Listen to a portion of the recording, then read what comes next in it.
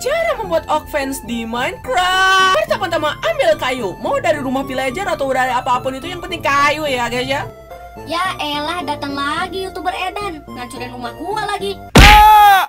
Lagi bikin tutorial juga. Ganggu mulu Maaf ya guys ya, ada kesalahan teknis membuat saya sangat amat menyesal. Ayo lanjutin. Kalian tahu lah ya kalau ambil kayu langsung bikin crafting table.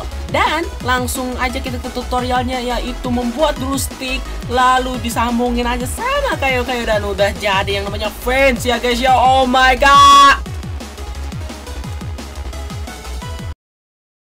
Oke guys, ini adalah mahakarya baru, meta baru, yaitu rudal pagar.